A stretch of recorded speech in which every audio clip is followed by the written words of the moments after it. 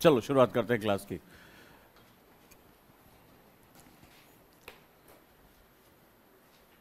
Modern Bharat, आधुनिक भारत, माना जाता है कि 1707 के बाद से औरंगज़ेब की मृत्यु से हमारा ये एक दौर शुरू होता है।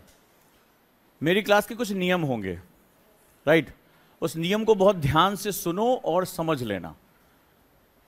पहली बात मैंने इस क्लास के पीछे बहुत मेहनत की है, जो कहानियाँ बनानी है, जो सीक्वेंस रखना, वो रखा है। आपका सिर्फ़ एक काम होगा, बड़े ध्यान से सुनो इसे। आपका सिर्फ़ एक काम होगा, जैसा मेरा नोट्स है, उसको वैसे ही लिख लेना, और उसको क्लास के क्लास में ही मैं लिखाता जाऊँ, उसको मेमोराइज करते जाऊँ। उसकी इमेजिनेशन करते जाओ उसकी मेमोराइज एक एक शब्द। मैंने कोशिश की है कि मैं मिनिमम से मिनिमम वर्ड में उसको लेके जा सकूँ। बस आपका काम है क्लास में ही उसको मेमोराइज मैंने बहुत पिक्चर्स रखी हैं, बहुत सी चीज़ों को विजुलाइज कराया है, लेकिन आपका जो बेसिक वर्क है, वो है किसी भी हालत में क्लास को एज इट इज़ जहाँ पर जो पॉइंट लिखा है, एक माइक्रो पॉइंट भी अगर लिखा है तो उसको एज इट इज़ खा जाओ। वो कॉपियों को बिल्कुल चाट के खत्म कर दो तुम। बस इतना ही कर देना। और एक हफ़्ते बाद मैं तुम्हें मिराकल दिखाऊँगा। बस आपका इतना ही काम है।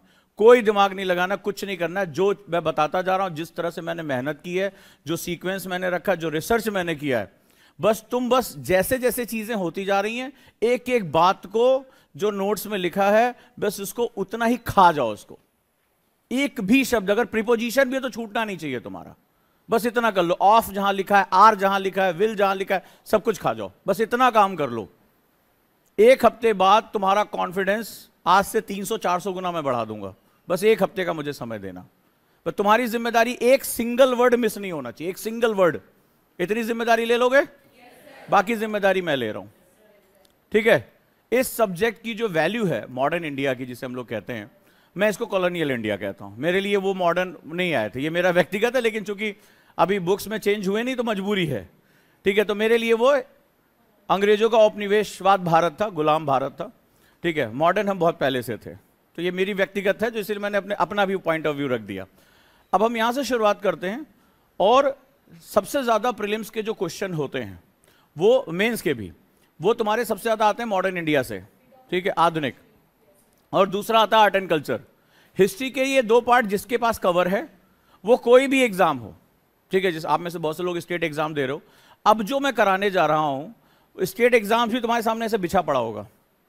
एक एक बस वर्ड चाहे वो कहीं से भी सोर्स हो इट डजेंट मैटर बस आपका काम बस वही है। एक एक लाइन एक एक पॉइंट जहाँ एरो गया वो एरो जहाँ पर पॉइंट गया वो पॉइंट जहाँ पे वर्ड है वो वर्ड वो बस तुम्हें उतने स्टेप्स याद कर लेने हैं।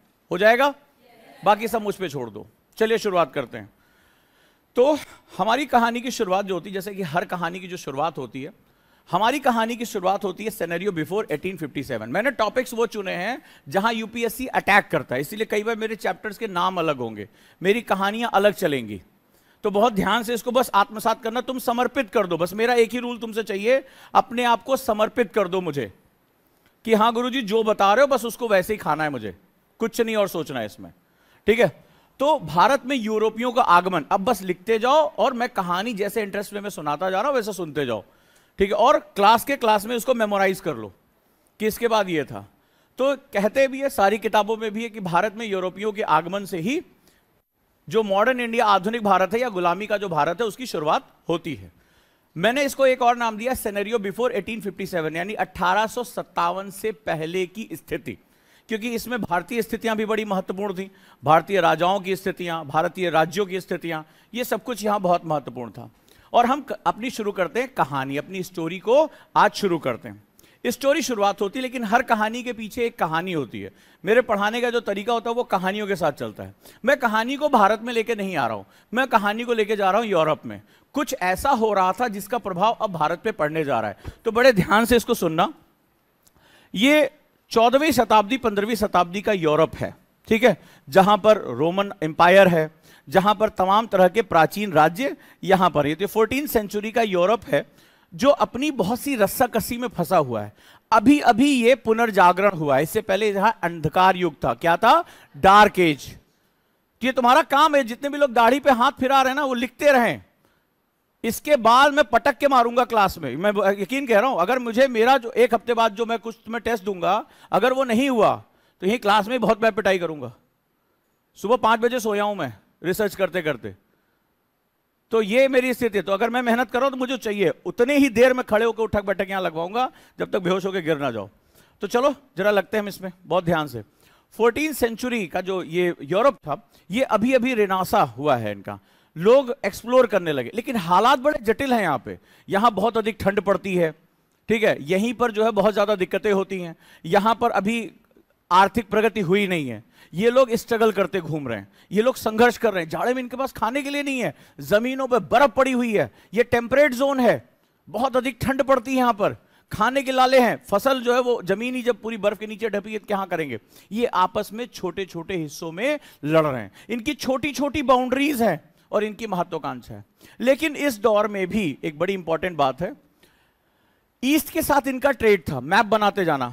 ठीक है मैप बहुत इंपॉर्टेंट है, मैंने ज़्यादातर कोशिश की है मैप के साथ तुम्हें समझाने की। चले फ्री हैंड बनाओ। इनका जो भारत ईस्ट के साथ इनका व्यापार था, जब ये पिछड़े हुए थे, ये आपस में लड़ रहे थे छोटी छोटी चीज़ों के लिए, कबीलों के फॉर्म में थे they were really form of the tribes वो ट्राइब के फॉर्म में थे। वो भयानक जलवायु से लड़ रहे थे, ठंड से लड़ रहे थे। इसमें से ज़्यादातर समुद्री लुटेरे हो गए थे। ठीक है तो इनके पास ज़्यादा कुछ आय का साधन नहीं था। और इन लुटेरों से जो इनकम थी, वो वहाँ के राज्य सरकार भी लेती थी, वहाँ की जो है गवर्नमेंट भी लेती थी। लेकिन इनका जो है ट्रेड रिलेशनशिप बना हुआ था किसके साथ? ईस्ट के साथ, स्पेशली भारत के साथ। लेकिन जो ट्रेड रूट था, इतिहास समझते जाना कैसे बदलता जा रहा है। तो भारत से जो है, ये जो मसाले, जो रेशम, जो मोती, जो बहुमूल्य रत्न, ठीक है, ये सारे कॉटन ये सब लैंड के थ्रू जाता था। और इसमें भी अलग अलग पावर्स का योगदान था। अगर मैं बात करूँ, ये जो लाइन मैंने खींची है, ये बड़ी महत्वपूर्ण है, बहुत इंपॉर्टेंट है। यहाँ जब भारत से ये निकलता था तो ये जो हिस्सा है, इस पे बेसिकली अरब लोगों का डोमिनेंस था। यानी जो एशिया का हिस्सा था, एशिया माइनर तक, इस पर अरब लोगों का हिस्सेदारी थी। किसकी डोमिनेंस थी? हिंदी में, कोई ये ना कहे, सर, हिंदी में मत हिंदी में लिखा रहा है इंग्लिश में जो लिख रहा तुरंत मुझसे पूछो। इसमें क्या था? अरब लोगों का प्रभुत्व था। ठीक है, अरब लोगों का प्रभुत्व था। तो ये व्यापार की जो आपकी डायरेक्शन देख रहे हो बड़ी इंपॉर्टेंट है। तीर क्या दिखा रहा है? तीर दिखा रहा है कि व्यापार हमसे शुरू होता था।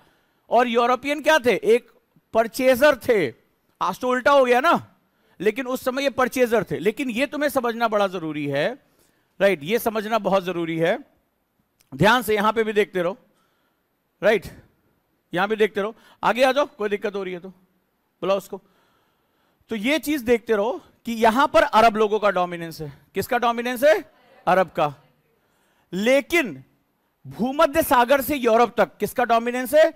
स्पेन का। भूमध्य सागर यानी मेडिटेरियन सी, जो आजकल विवाद का विषय बना हुआ है। वहाँ से किसका डोमिनेंस है? इटली का डोमिनेंस है। इटली उस समय का, यूरोप का बहुत ही ताकतवर देश था। ठीक है, जो इस व्यापार पे मोनोपली रखता था। यानी वो क्या था? एशिया से सामान लेता था भारत से सामान लेता था और बहुत अधिक फ़ायदे पे बेचता था। यूरोप में क्या होता? यूरोप में मांग थी पागलपन था। पागलपन था भारत का सामान चीन का सामान जो मसाला आइलैंड थे उन सबके सामानों की वहाँ पागलपन थी। तो ये जो पूरा रूट था वो दो पार्ट में डिवाइड था। ये कहानी बड़ी इंपॉर्टेंट है। पहला क्या जो लैंड रूट तो सारा व्यापार कैसे होता था? समुद्र से हो, नहीं होता था सब लैंड से होता था। इसी में ही सिल्क रूट ये चला जाता था। ठीक है? तो ये वेनिस होते हुए, आप जानते हैं, प्राचीन सिल्क रूट किस तरह से काम करता था? तो ये हिस्सा अरब के पास हो गया, ठीक है? और ये हिस्सा स्पेन के पास हो गया। चलिए, और ये प्रॉफिटेबल बिज़नेस था। प्रॉफिटेबल भयानक जो है, वो लाभ का बिज़नेस यहाँ पर था। लैंड रूट इतनी दूरी, कई इसमें पार्टीज़ थी, सब अपना अपना हिस्सा लेती थी। उसके बाद भी ये लाभ का हिस्सा था। सोचो भारत कैसा सामान पैदा करता था। कि इसमें कई पार्टीज़ थी। ये छोटे छोटे यूरोप के देश जो थे, सब हिस्सेदारी लेते थे। उसके बाद भी वो लाभ पे बेच देते थे। इतना बेशकीमती सामान हम जो है वो करते थे और इसके बदले हमारे पास ढेर सारा सोना, चांदी और सारी चीज़ें हमारे पास आ जाती थी। चलिए। चौदह में एक बड़ी घटना हुई। अब मैं बात करो भारत, अब आप कहेंगे साहब, भारत पे यूरोपियन का आगमन होना है, लेकिन हर चीज़ के पीछे एक रीजन होता है। वो कहानी तुम्हें समझना ज़रूरी थी कि वहाँ क्या ऐसा हुआ कि उन्हें यहाँ आना पड़ा। ठीक है, अब जरा ध्यान से सुनो। तो हम बड़े समृद्ध थे, हम दुनिया को बेच रहे लैंड रूट पे हम बादशाह थे। भारत का भी शासन अफ़गानिस्तान के ऊपर तक था, कोई ज़्यादा नहीं था। सेंट्रल एशिया से हम डायरेक्टली जाकर हम जुड़ जाते थे। मध्य एशिया में हम सीधे घुस जाते थे। तो हमारा डोमिनेंस था रूट्स हमारे पास थे कंट्रोल हमारा था, मुगल शासन भी वहाँ था और सब कुछ तलवार के दम पे हमारा काम हो जाता था। लेकिन चौदह में एक बड़ी घटना हो गई। चौदह में जो कुस्तुनतुनिया था ऑटोमान इंपायर उसने एशिया माइनर पर कब्जा कर लिया, ठीक है?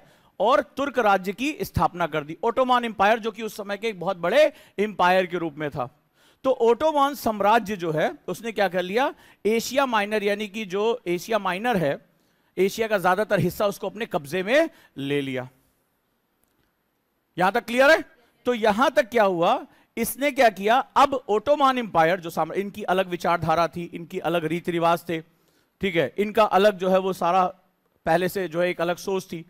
तो ओटोमान एम्पायर जो है, उसने क्या किया एशिया माइनर पे अपना कब्जा कर लिया कंट्रोल कर लिया और जो है उस्मानिया साम्राज्य, जिसे हम लोग कहते हैं, उस्मानिया उस्मानिया साम्राज्य की नींव रख दी। इससे क्या हुआ कि जो पुराना ट्रेड रूट था old trade route comes under the Turkish ruler जिसे आजकल तुर्की कहा जाता है। तुर्किस साम्राज्य पे ये क्या हुआ, उसके अंतर्गत आ गया। आपने देखा एक बड़ी फ़ेमस एर्दोगन करके एक जो मूवी एक वेब सीरीज़ है, इसी के उस पर बनी हुई है। तो old trade route come under the Turkish ruler ठीक है? यानी कि जो पुराना व्यापार मार्ग था, वो किसके अंतर्गत आ गया? तुर्किश शासकों के तुर्की शासकों के अंतर्गत आ गया। इससे क्या हुआ? जो ओल्ड ट्रेड रूट था, उसमें ब्लॉकेड आ गई। क्योंकि इनका पूरा जो नेचर था, वो बिल्कुल अलग था। वो पुराने तरीकों से अलग थे, वो अपना खुद का कुछ करना चाहते थे। तो इन्होंने क्या किया? रुकावट क्लियर कर दी। मतलब बना दी कि अब आप आगे नहीं जा सकते। तो यानी कि जो ईस्ट से होने वाला व्यापार पश्चिम की तरफ़ था, वो रुक गया। इससे भारत को बहुत ज़्यादा फ़र्क नहीं पड़ा। क्योंकि भारत किसी को कुछ बेचने नहीं जाता था। लोग उससे खरीदने आते थे। ये बड़ा अंतर वाली बात होती है। बेचने वाला दरवाजे पे जाता है। लेकिन जब आप उससे खरीदने जाते हो, क्योंकि वो सुपीरियर पोजीशन पे था तो बेसिकली वो अरबों को बेचता था। अरब यहाँ पे भी अपना व्यापार कर सकते थे। लेकिन इसमें नुकसान हो गया यूरोपियंस को, क्योंकि वो पूरी तरीके से स्टेट पर डिपेंडेंट थे। उनकी खुद की आय, उनकी जरूरतें, मसाला, कपड़ा, वो कुछ नहीं अपने पास रखते थे। तो ये क्या हुआ? सबसे ज़्यादा उनको नुकसान होना शुरू हो गया। और जो पुराने जो लोग थे, स्पेन की मोनोपली टूटनी शुरू हो गई। अब उन्हें बार बार किसके पास जाना पड़ता था? झुककर ओटोमान एम्पायर के पास जाना पड़ता था ओटोमान साम्राज्य के पास जाना पड़ता था। नतीजा क्या हुआ? यहाँ धीरे धीरे दो राज्यों, नए यूरोप में दो नए राज्यों का जन्म हुआ, स्पेन और पुर्तगाल। ठीक है? ये बड़े दुस्साहसिक लोग थे, रिनासा होने लगा था, अंधकार युग से निकलने लगे थे। वो अंधकार युग में था कि भाई, पूरे ब्रह्मांड का केंद्र कौन है? पृथ्वी है अर्थ है। हेलियोसेंट्रिक जियोसेंट्रिक कॉन्सेप्ट था। समुद्र में दूर तक गए तो क्या होगा? डूब जाओगे, नर के देवता तुम्हें मार डालेंगे। ये सारा अंधकार युग था वहाँ पे। तो रिनासा रिनासा मतलब पुनर्जागरण होने लगा। तो लंबे समय से सोए हुए लोग थे, छटपटा रहे थे कुछ अच्छा करने के लिए तो वो निकल पड़े। उनके पास कुछ था नहीं। मोस्टली वो लुटेरे थे। समुद्री लुटेरे थे वो। पायरेट्स थे। ठीक है, और कोई भी एक स्ट्रक्चरल सोर्स ऑफ़ इनकम उनके पास नहीं थी। तो स्पेन और पुर्तगाल जो है, अब वो तड़पने लगे, क्योंकि यूरोप को इसमें हो गया लॉस यूरोप को होने लगा लॉस क्योंकि ऑटोमान एम्पायर ने क्या किया? ब्लॉकेट क्रिएट कर दिया। अब they wants new route to reach spice island spice island का मतलब क्या होता है? मसाला द्वीप ये आया हुआ एग्ज़ाम में क्वेश्चन यूपी यूपीपीसीएस या एमपीपीसीएस किसी में आया हुआ है? मसाला आइलैंड किसे कहते हैं? Ice spice island India Indonesia Indonesia का जावा सुमात्रा द्वीप जो है, वो क्या कहलाता है? मसाला आइलैंड कहलाता है। क्या कहलाता है? मसाला द्वीप कहलाता है। इतिहास में बार बार इसका नाम आता है। क्या? स्पाइस आइलैंड तो भारत, जो दक्षिण भारत का जो कोस्टल रीजन है और जावा, सुमात्रा, इंडोनेशिया का, उसको हम लोग क्या बोलते हैं? मसाला आइलैंड। एक एक वर्ड याद करते चलो बस। बस अब एक एक चीज़ याद करते जाओ। खिलाड़ी कौन से आए? मैंने हाईलाइट भी कर दिया। स्पेन और पुर्तगाल। कौन सा एम्पायर आया? किस सन में? ये वर्ल्ड हिस्ट्री में आया हुआ है। 1453 में किसका आया? ओटोमान एम्पायर बस दिमाग में चलते रहना चाहिए। जहाँ जो लिख दिया, बस उसको याद कर डालो। ठीक है? अब क्या हुआ? ब्लॉकेट हो गया। तो इन्हें नए मार्गों की आवश्यकता पड़ गई। तुम लोग को दिक्कत हो रही पीछे? अरे तो आगे आ जाओ यार, कुर्सी उर्सी लेके। बहुत जगह है। हाँ जी, इन्हें नए मार्गों की आवश्यकता पड़ गई। इन्हें नए मार्गों की आवश्यकता पड़ गई। जरा बुला के लाओ उसे। बुला के लाओ उसे। मैंने उसको बोला तो मेरी क्लास में कोई डिस्टर्बेंस नहीं होनी चाहिए। तो अब ये चाहते थे कि कोई नया रास्ता मिले। अभी तक लैंड पे था लैंड किसने रोक दिया? ओटोमान एम्पायर ने। लेकिन स्पेन और पुर्तगाल चूँकि नए थे, अब इन्हें किसी भी हालत में चीज़ें चाहिए थी। अब क्या हुआ? इन्हें प्रॉफिटेबल ट्रेड तो चाहिए था, यानी कि इनको मुनाफे वाला व्यापार चाहिए था किसी हालत में। और वो भारत और एशिया ही उसके प्रमुख केंद्र थे। ठीक है? लेकिन साथ ही साथ अवॉइड रिवेलरी विद ओटोमान बहुत पावरफुल साम्राज्य था। तो इसने क्या किया? इन्होंने कहा डायरेक्टली हम ओटोमान एम्पायर से लड़ाई नहीं करेंगे। ठीक है? तो क्या हुआ? Avoid rivalry with Ottoman empire यानी ये ओटोमान साम्राज्य से सीधे टक्कर नहीं लेना चाहते थे। दूसरा, यूरोप में क्या हो गया? रेनासा हो गया। लिखते जाओ ये पॉइंट्स रेनासा हो गया। एक भी मेरा पॉइंट छूटना नहीं चाहिए तुम्हारा। एक सिंगल पॉइंट नहीं। रोको मुझसे को, दोबारा पढ़ाओ। लेकिन एक सिंगल पॉइंट छूटना नहीं चाहिए तुम्हारा। जो मैंने इसमें लिख दिया, वो तुम्हारे लिए कॉन्स्टिट्यूशन है तो पुनर्जागरण यानी रेनासा हो गया। ठीक है? अब रेनासा जैसे हुआ यानी कि वो उत्तेजित हो गए नहीं, हमें निकलना है, कुछ भी करना है। इस दौरान उन्होंने क्या किया? ढेर सारे पायरेट शिप बना लिए थे। खूब समुद्र में नहीं होता, लूटपाट करना। तो इनके शिप्स में इन्होंने आर्म जैसे आज नेवल शिप आया ना उसका अमेरिका का हेराल्ड आया। तो वो क्या है? वो आर्म्स एंड एम्यूनिशन से भरा हुआ है। तो ये लोग जो है, जैसे भारतीय भारतीय अपने उसमें जो है, तोप लेके नहीं चलते थे। भारतीय तो मोस्टली हीरा, सोना, चांदी, मसाला जो हमारे पास था, वो हम लेके चलते थे। ये चूँकि इन्हें रात दिन लड़ना पड़ता था, इन्होंने क्या किया? पोर्टेबल तोपे बना ली। जो सिल्क रूट से इनको बारूद मिला था चाइना से, उस चाइना के बारूद को इन्होंने तोपों में भर लिया और जहाजों पे तोपे रख ली। इस तरह से इनके जहाज़ बड़े लीथल हो गए। इनकी सेनाएँ चलने लगी। इनका हर नाविक जो था, वही सैनिक भी था। जो चप्पू चला रहा था, वही तलवार भी चलाता था।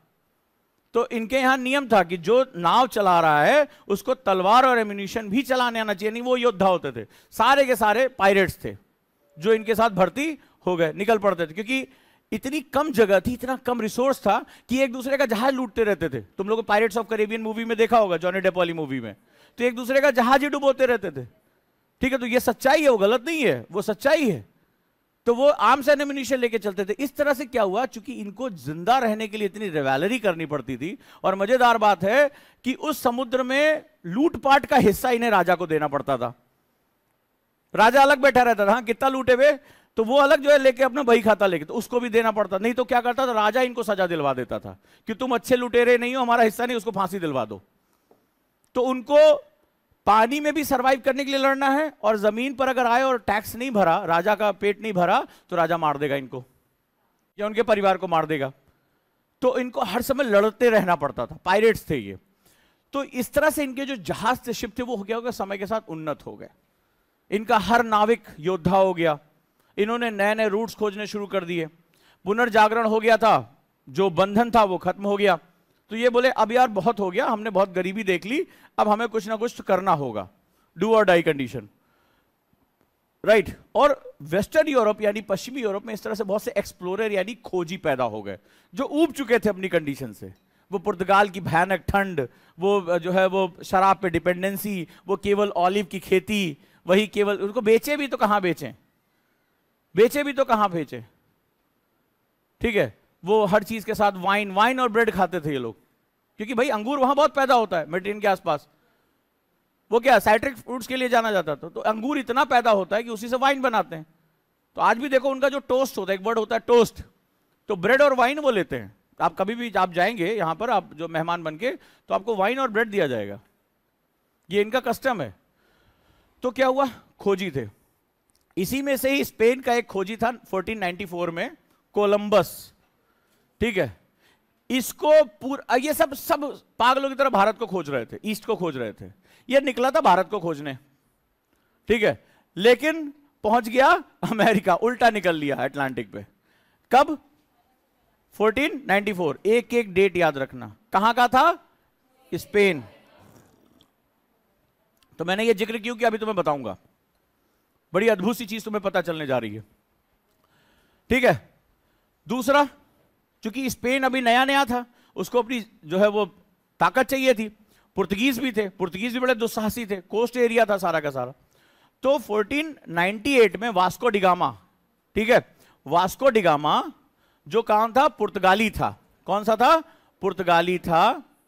एक एक लाइन ध्यान से first European who started trade with India पहला यूरोपियन जिसने भारत के साथ सीधे व्यापार शुरू किया। कौन था? वास्को डिगामा क्योंकि भारत यूरोप से डायरेक्टली नहीं जुड़ा था, अरबों के माध्यम से जुड़ा हुआ था। तो first European who started trade with India पहला यूरोपियन एक एक लाइन मेरी याद होनी चाहिए। पहला यूरोपियन जिसने भारत के साथ व्यापार शुरू किया। ठीक है? ये अंग्रेज़ नहीं थे, पुर्तगाली थे। तो 1498 में वास्को डिगामा पहुँचा।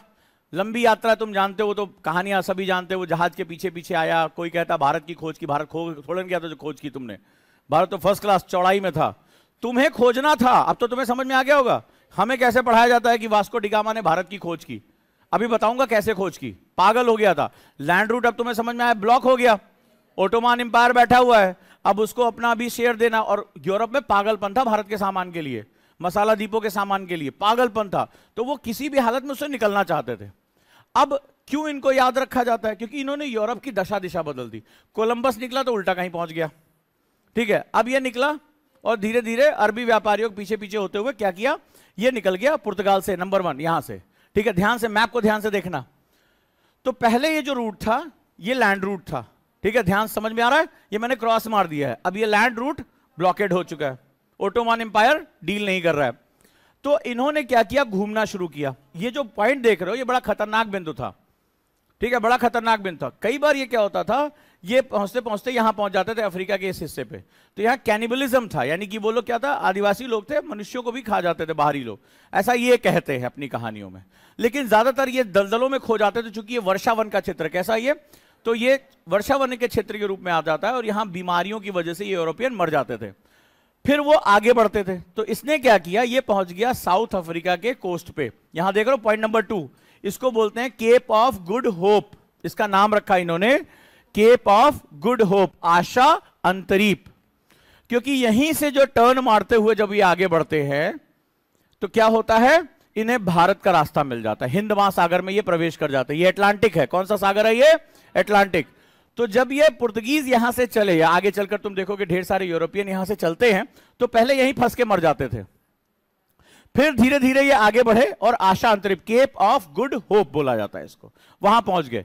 यहाँ से जब टर्न लेते तो वो इंडियन ओशियन में प्रवेश कर जाते हैं, उनको पता है कि अब अपार धन का रास्ता मिल गया। तो जो वास्को डिगामा उसकी सबसे बड़ी जो खासियत थी, उसने यूरोप को, खासतौर पर पुर्तगाल को, अगले सौ सालों के लिए सुरक्षित कर लिया ये रूट खोज के। क्योंकि लैंड रूट वो खोज ही नहीं पा रहे थे। कैसे पहुँचे भारत? इस रूट की वजह से पूरे यूरोप में एक नया संचार पैदा हो गया और यकीन मानिए जो तब से लेकर आज तक, इस पूरी कहानी में आपको समझ में आएगा कि जो कुछ भी उनके पास है वो हमारा ही है। और इस रास्ते ने कैसे भारत की बर्बादी और कैसे यूरोप का इतिहास लिख दिया। इससे पहले तक तो ये चमड़ा खाते थे, ये जो है जाड़ों में इनके पास खाने के लिए नहीं होता था, ये जमा हुआ मांस खाते थे, मछलियाँ जमा के रखते थे, इनके पास खाने के लिए नहीं था। तो इस यात्रा में जब वो गया आपने कहानी सुनी होगी कि यात्रा में जितना भी खर्चा, उसका साठ गुना ज़्यादा इसने कमा लिया था, सिक्सटी टाइम। जब ये पहुँचा तो वहाँ का राजा तक पागल हो गया कि भाई ये क्या है?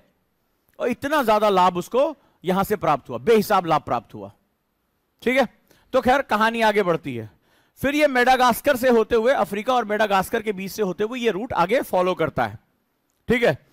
आगे जब ये पहुँचता है तो यहाँ पे तुम्हें जिग्जैग दिखाई पड़ रहा है। मैप पे दिखाई पड़ रहा है? नंबर तीन।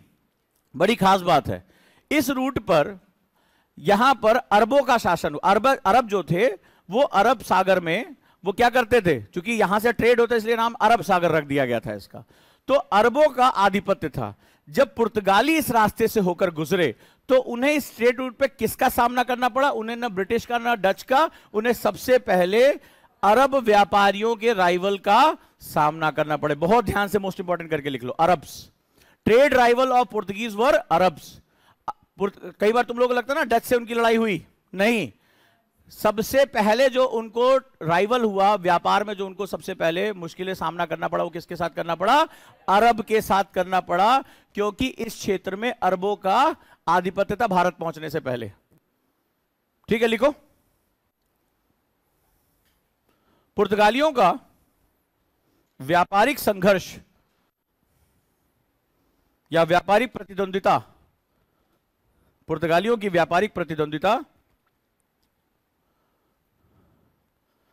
अरबों के साथ हुई। इंपॉर्टेंट याद कर लेना। अरबों के साथ हुई। किसके साथ? अरबों के साथ हुई।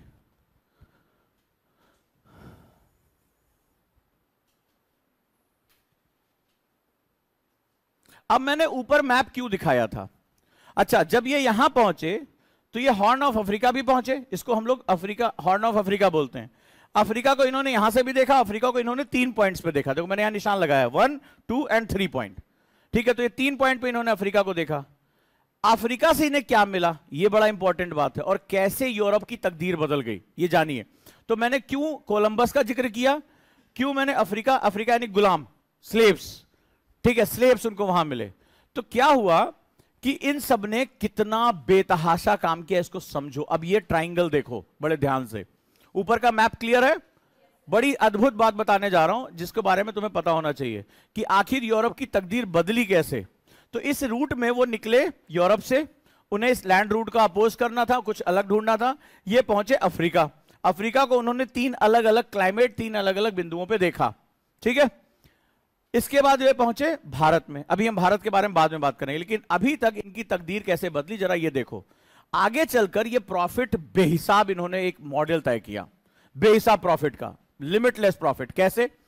ये यूरोप से माल लेके निकलते थे, जो भी इनके पास बेचने बेचने लायक हुआ करता था, ये वहाँ से गुड्स अपना लेके निकलते थे, और ये पहुँचते थे अफ्रीका। अफ्रीका में शुरुआती दौर में जब गए तो सोना, सोने की खदानें अफ्रीका में बहुत पाई जाती हैं। गोल्ड माइंस कॉन्ग्लोमरेट्स पाए जाते हैं। और दूसरा हाथी दांत, क्योंकि वो प्राकृतिक संपदाओं से भरा हुआ है। ठीक है, वो नेचुरल रिसोर्सेज से भरा हुआ तो हाथी दांत। ठीक है, जो तो ये दो चीज़ें उनके लिए आइवरी जिसे हम लोग बोलते हैं। तो ये आइवरी और गोल्ड ये दो बहुत इंपॉर्टेंट सेगमेंट थे जिसके लिए गए। लेकिन जब वो अंदर घुसे तो उन्हें दिखाई पड़ा अफ्रीकन्स जो अपने नेचुरल एनवायरमेंट में रह रहे हैं। उन्होंने साइंस टेक्नोलॉजी इन सबसे दूर अपने कबीलों में, अपने जीवन में जी रहे हैं। लेकिन वो लंबे तगड़े हैं बहुत ज़्यादा। जेनेटिकली वो क्या है? वो हमारे ओरिजिन है। हमारे जो आनुवंशिक रूप से हमारी उत्पत्ति वहीं से मानी जाती है। या वो बहुत ही एक तरह से क्या अफ्रीकी के शरीर जो है बहुत मज़बूत होता है। चाहे वो महिला हो, चाहे वो पुरुष हो। तो उन्हें वहाँ पर स्लेव दिखाई पड़े। आज ये दुनिया भर को मानवता की बात करते हैं ना, अब इनका लाभ देखो। ये जो जितने भी यूरोपियन कंट्रीज़ हैं, जितने भी हैं जो आज बैठ के मानवता, अधिकार और ये, जरा इनके बारे में जरा ध्यान से रो इनका एक ट्राइंगल, इसको प्रॉफिट ट्राइंगल बोलते हैं। ठीक है? ये यूरोप से अपना माल लेकर पहुँचते थे अफ्रीका। ध्यान से इसको लिखते और समझते जाना। अफ्रीका से जो नीग्रो गुलाम, नीग्रो यानी कि जो निग्रोइड एक एंथ्रोपोजेनिक वर्ड होता है, जो जो है श्याम वर्णी या जो है, ब्लैक, जिसे हम लोग बोलते हैं, नीग्रो, निग्रोइड होते हैं वो। तो नीग्रो वो क्या करते थे? अपना माल वो अफ्रीका में देते थे और उसके बदले गुलाम खरीद लेते थे। इन्होंने मनुष्यों को खरीदने, बेचने का एक सिस्टमैटिक वे शुरू किया। ठीक है तो क्या होता था? यूरोप से जो भी अपना माल लेके निकले, उन्होंने क्या किया? जाकर वहाँ उसके बदले उन्होंने गुलाम खरीदे। अब तुम कहोगे सामान देके इंसान खरीद लिया? लेकिन वो क्या करते थे? बहुत चालाक थे। इन्होंने, चूँकि अब वो कोलंबस पहुँच गया था अमेरिका, और दक्षिणी अमेरिका तक उसने खोज कर ली थी। बेहिसाब लैंड जिसपे मानव कभी गया ही नहीं। बेहिसाब संपदा, बेहिसाब दौलत, ये पड़ी हुई है वहाँ पे। लेकिन उसको एक्सप्लोर करने के लिए चाहिए क्या? इंसान लेबर चाहिए। भाई, ज़मीन खोदने के लिए, खेती करने के लिए, तेल निकालने के लिए, गन्ना बोने के लिए, क्या चाहिए तुम्हें? इंसान चाहिए। मशीन तो तब तक आई नहीं थी। तो इंसान कैसा होना चाहिए? जो डेली अपने काम के बदले अच्छा वेतन मांगे तो तुम्हारी ऐसी तैसी कर देगा। तो लेबर जितना सस्ता होगा, उतना प्रॉफिट ज़्यादा होगा। और ये चूँकि पगलाए हुए थे प्रॉफिट के लिए मतलब पागलों की हद तक ये पहुँच गए थे। और इंसान, राज्य, सरकार, सांसद, इनको बस केवल एक ही चीज़ रात दिन दिखता था, इनके दिमाग में डॉलर डॉलर उनका पैसा घूमता था। इतने पागल हो चुके थे। तो वहाँ से उन्होंने उठाया स्लेब्स गुलाम, गले में बांधी जंजीरें, खरीदने, बेचने की चीज़ बनाई, यहाँ से जहाजों पे भरा और लेकर चले गए अपने बागानों में प्लांटेशन जहाँ जहाँ दुनिया में इन्होंने प्लांटेशन किया, जहाँ इन्होंने घाना में कॉफ़ी बोई, और ऑस्ट्रेलिया से लेकर जो है स्पेन तक इन्होंने जो है गन्ने की खेती की आगे चलकर जो खेती हुई है, जितना भी काम होना था, ये क्या करते थे? वहाँ से गुलामों को खरीदते थे और बागानों में लेके चले जाते थे। बागानों से जो भी निकलता था, चाहे वो कॉटन हो, चाहे वो शुगर केन हो, चाहे वो चुकंदर हो, चाय हो कॉफ़ी हो, ये बहुत ही हाई वैल्यू चीज़ होती थी। और वहाँ जब ये पहुँचते थे, अपनी जो क्षेत्र थे, अमेरिका पहुँच गए। आपको याद होगा ना, अमेरिका में बोस्टन टी पार्टी हुई थी, जो आंदोलन हुआ था। तो उससे पहले ये यूरोपियन पूरा शोषण में लगे होते रेड इंडियंस को इन्होंने बड़े मतलब पूरे कहते हैं कि अमेरिका की पूरी धरती रेड इंडियंस के खून के लदी हुई है। वो इतने पागल थे, उनको देखते उनका नाम रेड इंडियन कर दिया। बोले, इंडिया यही है। और उनको बेतर बहुत बेरहमी से मारा उनको। उनकी सब चीज़ें छीन ली उन्होंने। तो ये क्या करते थे, यहाँ पहुंचकर गुलाम बेचते थे और गुलामों के बदले वो प्लांटेशन प्रोडक्ट ले लेते थे, उनके जहाज़। ठीक है तो गुलामों को जहाज़ से उतारा मान लो अमेरिका में उतार दिया, या कहीं और, जैसे वेस्ट इंडीज वो इंडिया के पीछे इतने पागल थे कि भारत के क्षेत्रों को ईस्ट इंडीज बोलते थे और पश्चिम वाले द्वीपों को ईस्ट वेस्ट इंडीज बोलते थे। जो वेस्ट इंडीज उस सब में उनको इंडिया इंडिया दिखाई पड़ता था। अमेरिका पहुँच के उसका नाम रेड इंडियन रख दिया। इनके आँखों में केवल इंडिया इंडिया सोचो मेरी, हम लोग की वैल्यू कहाँ तक थी? इनको खाली इंडिया दिखता था और कुछ नहीं दिखता था। तो वेस्ट इंडीज लेके गए वहाँ पे बसाना शुरू कर दिया उनको। जो मध्य अमेरिकन द्वीप हैं, कि वहाँ पे खेती बेहिसाब कराना है, गन्ना बोआना है और तमाम तरह की चीज़ें करनी है। तो वहाँ से उठाते थे अपनी जहाजों पे प्लांटेशन प्रोडक्ट्स और ले जाकर बेचते थे कहाँ पर? यूरोप में। बेहिसाब मुनाफा। मिनिमम लागत में मैक्सिमम प्रॉफिट मॉडल ये है। यहाँ से माल उठाया, बेचा, अपने मन से, और उसके बदले गुलाम खरीद रहे हैं। गुलामों को ले जाकर बागानों में बसाया। और गुलामों के बदले प्लांटेशन प्रोडक्ट उठाया, ले जाकर बाज़ार में बेच दिया। इससे क्या हुआ? यूरोप में बेहिसाब पूंजी आने लगी। अटलांटिक पार करके बहुत पूंजी आने लगी। यही पूंजी थी जिसने औद्योगिक क्रांति की नींव रखी थी। यही वो पूंजी थी जो गुलामों का व्यापार, शोषण का व्यापार तो ये क्या हुआ? कैपिटल यूरोप में बढ़ने लगा। और जब कैपिटल बढ़ा तो क्या हुआ? औद्योगिक क्रांति यानी इंडस्ट्रियल रिवोल्यूशन की नींव पड़ गई। और जब ये इंडस्ट्रियल रिवोल्यूशन पड़ा तो अब तो पूरी दुनिया की गुलामी की नींव पड़ गई। ये आज भी खून पी रहे हैं? इसराइल, फिलिस्तीन का मसला इन्हीं का है। ये आज भी खून पी रहे हैं। इसके बाद क्या हुआ? इनके पास इतनी पूंजी आ गई कि इन्होंने इंडस्ट्रियल रिवोल्यूशन कर दिया। मशीनें बड़ी बड़ी बनाई। मशीनें कहाँ से बड़ी बड़ी बनेंगी? अभी कुछ साल पहले तो पहनने के लिए कपड़े नहीं थे, खाने के लिए खाना नहीं था। अचानक से क्या हुआ?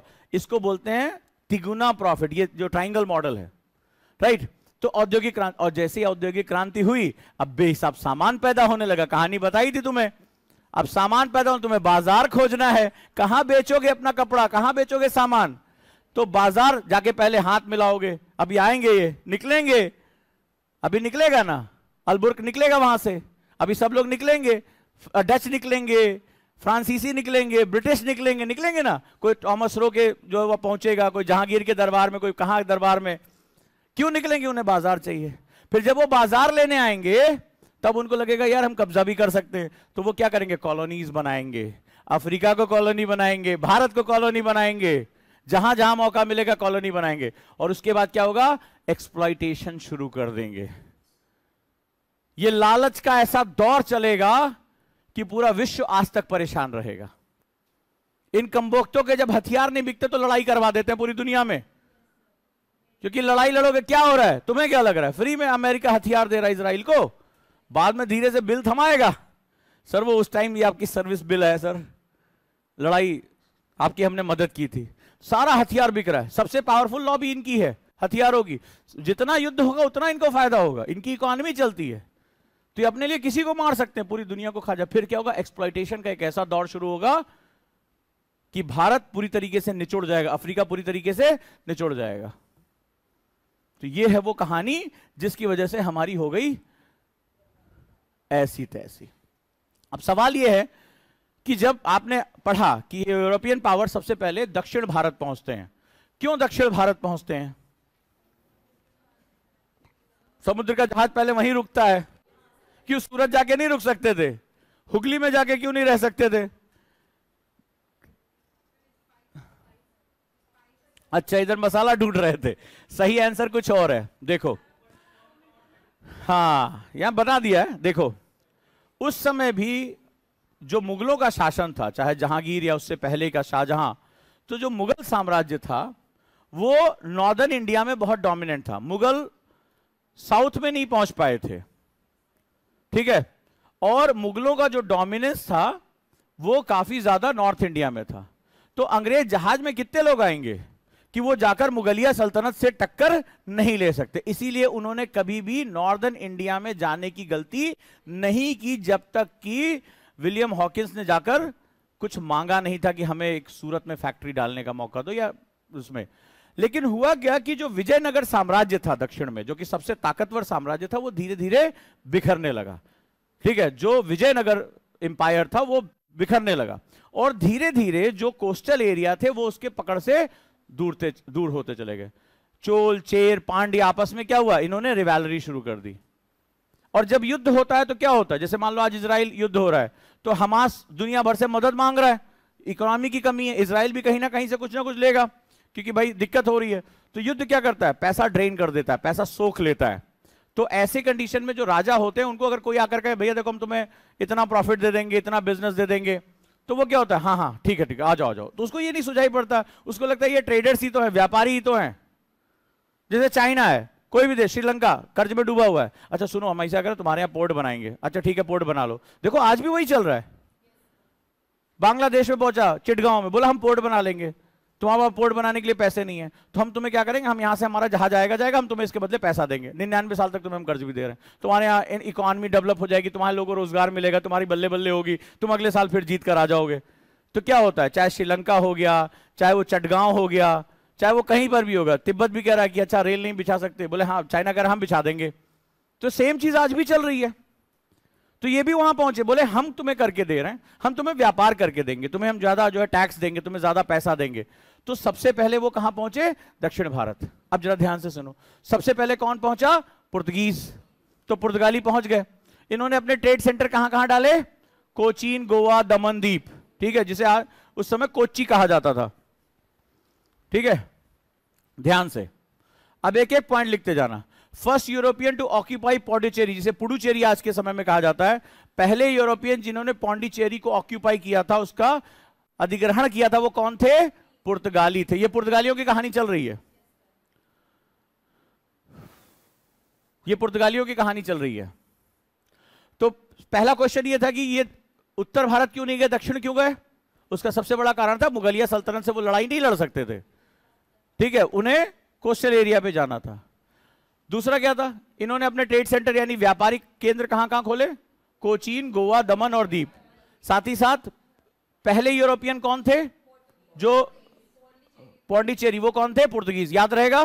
पुर्तगाली पहले यूरोपियन थे जिन्होंने पुडुचेरी को या पौंडीचेरी को अधिग्रहण किया। अब कुछ और मज़ेदार बात है। एक लाइन और यहाँ लिख लो। ये जो चीज़ है आगे बहुत काम आने वाली है। पुर्तगालियों के पास बहुत ही स्ट्रांग शिप थे। जैसा अभी कहानी बताई कि उनको वहाँ लड़ना पड़ता था। तो वो तोपे भी लगा के चलते थे, बारूद भी चलते थे। उनके नाविक एक हाथ से चप्पू चलाते, दूसरे हाथ से तलवार चलाते थे। तो कुल मिलाकर उनकी मजबूरी थी वहाँ पे। सर्वाइवल करना था। तो जो पुर्तगीज थे या जो यूरोपियन अगर आगे चलकर तुम देखोगे पूरे European they have they had very strong ships उनके पास बहुत मज़बूत जहाज़ थे। इसीलिए अगर हम यहाँ जो बहुत इंपॉर्टेंट ये आगे चलकर हिस्ट्री तय करेगा, ये लाइन याद रखना। तो लैंड पे जो है, यानी ज़मीन पर भारत मज़बूत था। ठीक है, ये अप का मतलब मज़बूत है। साइन है ये अप तो लैंड पे, यानी धरती पर भारत मज़बूत था। भारत की सेनाएँ मज़बूत थी। बट इन वाटर्स पानी में, समुद्र में पुर्तगल जो है पुर्तगल के लोग मज़बूत थे। इस चीज़ का बड़ा ध्यान रखना आगे चलकर तुम देखोगे, इतिहास की दिशा बदलने में औरंगज़ेब से एक बहुत बड़ी गलती होगी और वो इसी फैक्टर की वजह से होगी। हर चीज़ का एक कारण है। अगर वो कारण समझ गए तो कहानी के साथ जुड़ जाओगे। ठीक है? चलिए, अब कुछ और चीज़ें लिखिए।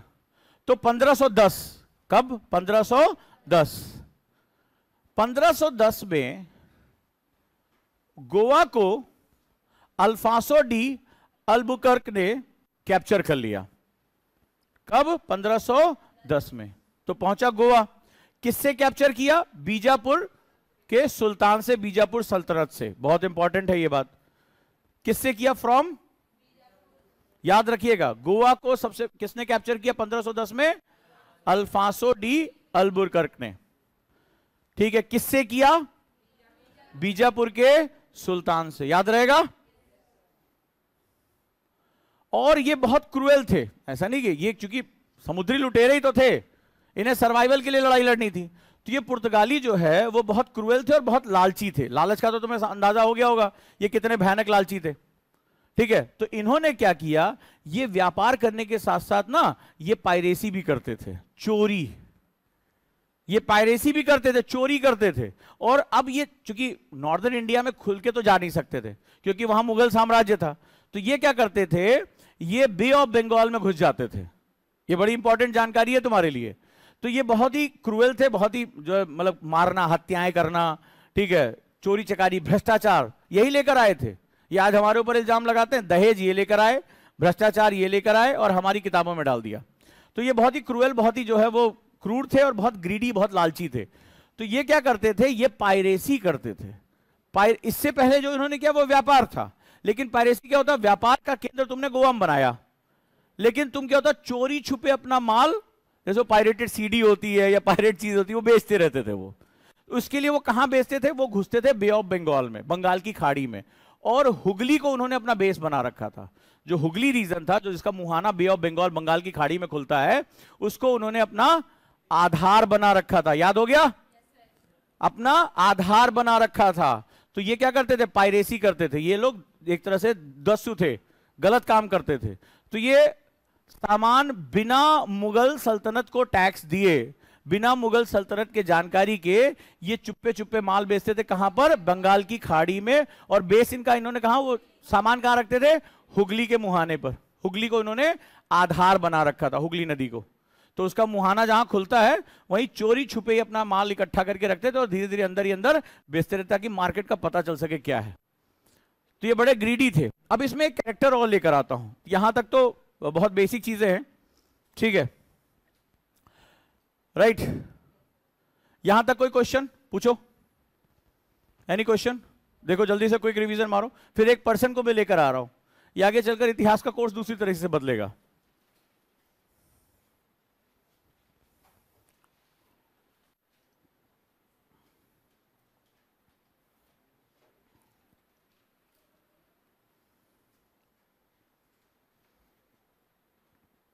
कोई क्वेश्चन हो तो पूछो। हम्म।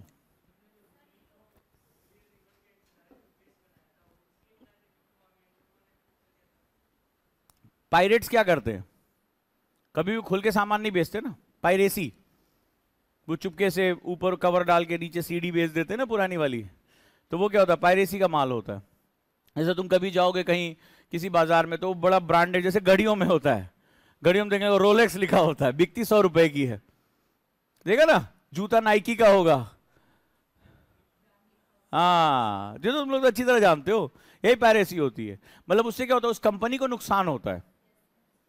तो ये क्या होता था चोरी छुपे सामान बिना राज्य को टैक्स दिए, बिना उसको जो है कोई भुगतान किए, वो चुपचाप बेचते रहते थे। तो इन्होंने क्या किया था बे ऑफ़ बंगाल से होते हुए हुगली को इन्होंने बेस बनाया था, वहाँ धीरे धीरे सामान बेचते रहते थे। ये इलीगल है। आए थे भारत में व्यापारी बन के तो उन्हें फरमान के थ्रू करना चाहिए ना। लेकिन ये इलीगल काम करते थे। एक तरफ़ तो ये दिखाते थे कि हम बिल्कुल प्रॉपर काम करो, पीछे से क्या करते थे अपना पूरा बेस ये बताना ज़रूरी है। हाँ।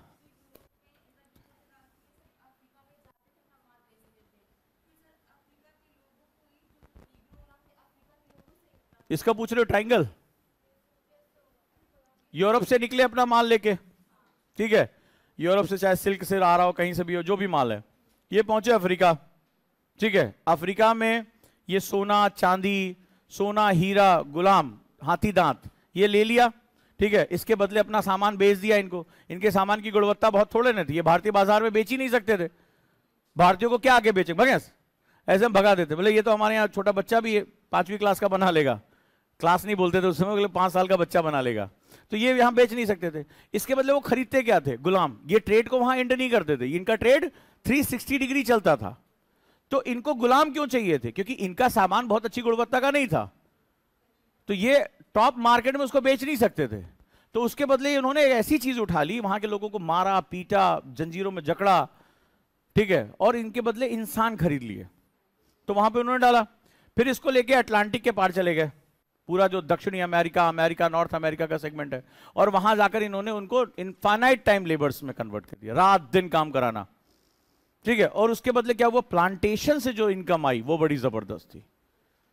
जैसे गन्ने की खेती तमाकू ठीक है? जैसे चाय, कॉफ़ी, इनकी कीमत ये जो स्टेपल क्रॉप्स जिसे बोलते हैं, या जो कैश क्रॉप्स होते हैं, बहुत प्रॉफिटेबल थी उस समय। बहुत प्रॉफिटेबल और इसके बदले इन्हें कुछ पैसा नहीं लगाना था। गुलाम से काम चला रहे थे। कुछ सामानों के बदले इंसान खरीद लिए और ये ले जाकर फिर बेचते थे।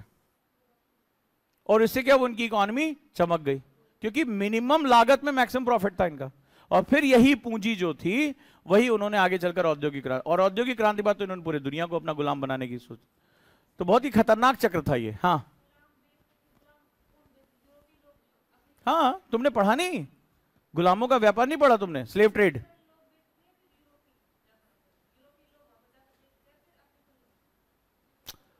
यूरोपीय पहुँचते थे, सामान अपना दे, उसके बदले वो जहाज़ में गुलाम भर लेते थे। वहीं पर उनके फार्म थे, जैसे जानवर बेचे जाते ना कि इतनी भेड़े ले लो, इतनी बकरियाँ, वैसे वहाँ फार्म थे यूरोपियंस के जो इंसान बेचते थे। तुमने स्लेव ट्रेड के बारे में नहीं पढ़ा? तो वही था तो वो जहाजों में, उनको तो शादी करने की अनुमति नहीं थी। बच्चा किसी और जहाज़ में चला गया, पिता को किसी और जहाज़ में, किसी और कंट्री में भेज दिया, पत्नी को कहीं और भेज दिया, उनके गले में जंजीरें बाँध के रखी जाती थी, हाथ, पैर और गले में, वो सीधे खड़े भी नहीं हो सकते थे। उनको बाड़े में रखा जाता था, तुम्हें पता होना चाहिए, जो पूरा ऑस्ट्रेलिया है ना, ये गुलामों से बसा हुआ है। तो इन्हें बाड़े में रखा, आगे चलकर भारत में गिरमिटिया मजदूर नाम सुनोगे, ये जो फिजी, ठीक है, ये सब जगहों पे, ये भारत के लोग हैं। तो इन्हें क्या होता था, बाँध के रखा जाता था। तो ये रात में जैसे जब इनको सोना होता था तो जैसे बाड़े होते थे, इसमें वो सीधे नहीं खड़े हो सकते थे। इन्हें बाड़े में रखा जाता था। एक छोटे छोटे बाड़े में पंद्रह पंद्रह बीस बीस लोग। वहीं पर इन्हें शौच करना होता था, वहीं टॉयलेट था, वहीं खाना खाने को मिलता था। आगे चलकर ये दिन में ज़्यादा खाना ना खा ले, इसलिए इनके मुँह पर पट्टी बाँध दी जाती थी, लोहे की पट्टियाँ। तो इन लोगों ने मिट्टी खाना शुरू कर दिया, भूख से इतना बिल बिलाते थे। इतना बिल बिलाते थे कि मिट्टी भी खाना शुरू कर दिया मालिक जो इनके यूरोपियन थे, उन्होंने मुँह पे लोहे की पट्टियाँ बांधी थी, ये सब उनका कट जाता था, खून से लथपथ हो जाता था। इनको हंटर से मारा जाता था, अगर ये थोड़ा भी विश्राम कर लेते थे। तो जानवर से भी बुरा बर्ताव इनके साथ किया जाता था। तो ये उनके व्यापार का ये हिस्सा है। तो पूरी दुनिया के खून से लदा हुआ है इनका पैसा। चले, आगे। अब आ जाओ। आज हम इस सेगमेंट में पहुँचते हैं। गोवा में एक और बड़ी जो है, बदलाव हुआ। 1542 1542 स्पेन के एक संत थे, फ्रांसिस जेवियर ठीक है, बड़े ध्यान से लिखना इसको। आप कहोगे, सर, ये लड़ाई झगड़े के बीच में यहाँ कहाँ आ गए? अब जरा ध्यान से इसको लिखो। तो ये बेसिकली पुर्तगाली राजा से अनुमति प्राप्त करके जब गोवा जीत लिया पुर्तगालियों ने तो ये गोवा पहुँच गए। फ्रांसिस मूवीज़ में तुम इनके चर्च देखते हो व्हाइट कलर वाला। ठीक है पिक्चरों में बड़ा दिखाते हैं, आप समझो इसको। तो ये बेसिकली स्पेन के मूल निवासी थे जो वहाँ पहुँचे। ये basically member of Jesuit order लिखो इसको। ये सोसाइटी ऑफ़ जीजस के संस्थापक सदस्यों में से एक थे। जीस्यूड ऑर्डर का मतलब होता है कि जो एक संस्था है, जो ईसाइत को फैलाने का, उसके जो है वो टीचिंग्स को पूरी दुनिया में प्रॉस्परस करने का जिम्मा लेती है तो उसके मेंबर थे ये फाउंडर मेंबर थे। ये बड़ा इंपॉर्टेंट डॉक्यूमेंट है तुम्हारे लिए। तो सोसाइटी ऑफ़ जीसस के संस्थापक सदस्यों में से एक थे। आगे चलकर इनको संत का दर्जा दिया गया तो फ्रांसिस जेवियर से सेंट फ्रांसिस जेवियर हो गए थे। ठीक है? इनकी जो मृत्यु हुई थी, पंद्रह में हुई थी। डेथ इनकी 1552 में हुई थी। लेकिन इंडिया में नहीं हुई थी। मज़ेदार बात है। ये चाइना में मकाऊ द्वीप में इनकी डेथ हो गई थी, बीमारी से। फीवर आ गया था और इनकी। तो इनकी जो अंत्येष्टि हुई थी, जो रिचुअल्स हुए थे वो हुए थे स्पेन और पुर्तगाल में, लेकिन इनकी बॉडी जो रखी गई है, वो गोवा में रखी गई है। अभी भी वो ताबूत के अंदर उनको रखा गया है, उनको संत का दर्जा दिया गया कि ये चमत्कार कर सकते थे। अब ये इतना महत्वपूर्ण क्यों है? मैं इसको यहाँ क्यों पढ़ा रहा हूँ? ठीक है यूरोपियों ने जंग दो तरीके से जीती एक तलवार के दम पे और दूसरा धर्म का प्रसार करके। अभी तुम देखोगे कि जब ये यूरोपियन हमारे देश के आदिवासी इलाकों में जब प्रवेश करेंगे तो इन्हें भयानक रेजिस्टेंस का सामना करना पड़ेगा, जब ट्राइबल एरिया में जाएँगे। और जब वो ट्राइबल एरिया में जाएँगे तो वो बड़े स्वतंत्र लोग हैं उनमें अपनी मिट्टी, अपनी ज़मीन से मतलब है। तो जब वो अंदर जाएँगे, चाहे संथालों के पास जाए, चाहे नॉर्थ ईस्ट में जाए, इनको मुँह की खानी पड़ेगी। और इनको समझ में आएगा कि इनसे लड़ाई करके नहीं जीता जा सकता, क्योंकि इनके लिए खोने के लिए कुछ नहीं है। ये तो जहाँ भी घेर के मार देंगे इनकी ऐसी तैसी कर देंगे, अंग्रेज़ों की ऐसी तैसी हो जाएगी। तो फिर वो अपनी रणनीति बदल देंगे। और इन साहब ने जो ईसाई मशीनरियों का प्रसार यहाँ शुरू किया, उसी के बेस पे, ये बहुत बड़े लेवल पे मास कन्वर्जन होगा, क्योंकि आदिवासियों की कमज़ोरी अंग्रेज़ों को या यूरोपियन को समझ में आ जाएगी। यूरोपियन वर्ड में यूज़ करूँगा कि वो गरीब हैं, भारत की जातीय व्यवस्था की वजह से वो परेशान है, उनकी गणना कहीं हो नहीं रही है तो कई तरह के कानून बनाएँगे और धीरे धीरे थोड़ा बहुत इनपुट दे दे के वो कन्वर्जन का खेल शुरू होगा। जिसका प्रभाव तुम देखोगे आगे चलकर जब आज़ादी की लड़ाई होगी तो तुम ये पाओगे कि नॉर्थ ईस्ट उसमें से गायब रहेगा। तुम पाओगे कि इनके विचारों का प्रसार बहुत आसानी से होगा और आज भी भारत में वैसा ही हो रहा है। ठीक है, आज भी भारत में वैसा ही हो रहा है। बड़े लेवल पे कन्वर्जन हमें देखने को मिल जाते हैं। ठीक है तो अल्फांसो तो चला गया लेकिन कुछ चीज़ें ऐसी छूट जाएँगी जो भारत में बहुत बड़ा बदलाव लेकर आएँगी। ठीक है? अब नतीजा क्या रहा? नतीजा रहा मोनोपोली इन ट्रेड पुर्तगीज अगले सौ सालों तक बेपनाह राजा बन गए। ठीक है? और बेहिसाब एक्सेस प्रॉफिट इनके हिस्से में आना शुरू हो गया। एक्सेस प्रॉफिट डन तो आज की कहानी में इतना ही।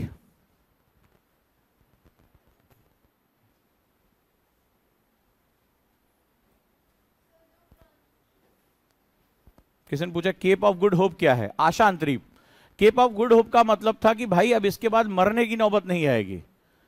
तो आशा मतलब जग गई कि अब हम इंडिया पहुँच जाएँगे। तो वो जो टर्निंग पॉइंट था, वहीं से लगता था, अब हम इंडिया पहुँच जाएँगे, अरब सागर में प्रवेश कर जाएँगे, हिंद महासागर में, अब हमारे बचने के चांसेस हो गए नहीं तो वो यात्रा इतनी लंबी थी, इतनी थकाऊ थी, कि ज़्यादा से ज़्यादा जो वास्को डिगामा के जो लोग थे, वो मर गए थे रास्ते में। अंत में उसको अपने जूते का चमड़ा खाना पड़ा तो उसके पास खाने के लिए कुछ नहीं बचा था।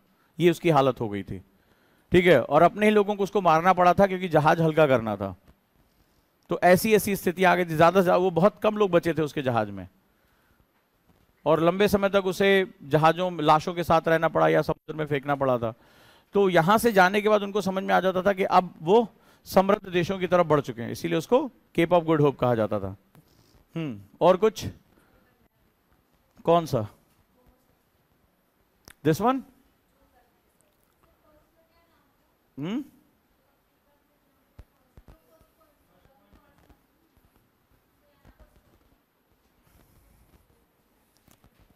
वो कोई एक जगह नहीं थी।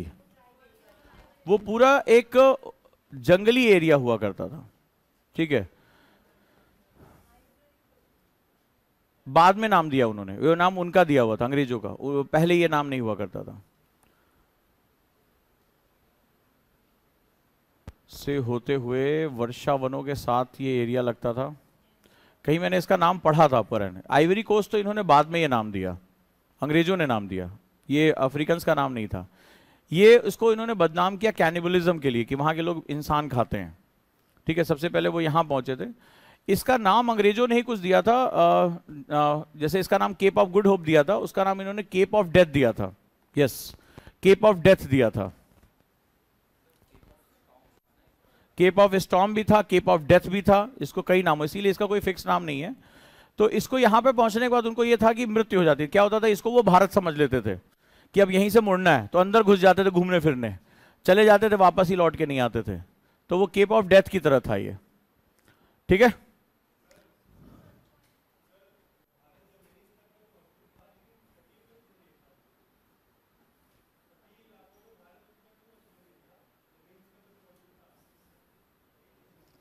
देखो, उसके पहले सबसे बड़ा जो है, जो चोल साम्राज्य था, जो इंडिया की सबसे पावरफुल नेवी थी, वो चोलास के समय थी। उसके बाद वो साम्राज्य के पतन होने के बाद एक समय होता है, किसी भी सभ्यता को एक बार उपना और नीचे जाना होता है। तुम्हें क्या लग रहा है, यूरोपियन हमेशा ताकतवर बने रहेंगे? नहीं, फिर भारत की घड़ी आएगी। तो एक समय था जब हमने हज़ारों साल तक राज किया तो अब धीरे धीरे जब वो विखंडित हो जाएगा, अभी इसके बाद की क्लास में एक लाइन बोलूँगा। वो लाइन आज के लिए बड़ी रिलेवेंस है, कि अंग्रेज़ों ने भारत में कब्जा कैसे किया? ठीक है? तो वो अभी अंग्रेज़ों तक आने दो उस कहानी में हमें तो वो तुम्हें पता चलेगा कि वो हमारी कमज़ोरी थी। हमारे लिए उन्होंने एक लाइन लिखी थी कि भारत में राष्ट्रवाद नहीं है। क्यों मैं अपनी क्लास में बार बार कहता हूँ कि कुछ भी हो, किसी भी धर्म के हो, किसी भी जाति के हो, राष्ट्र से ऊपर कुछ नहीं होना चाहिए। इतिहास हमें यही सिखाता है।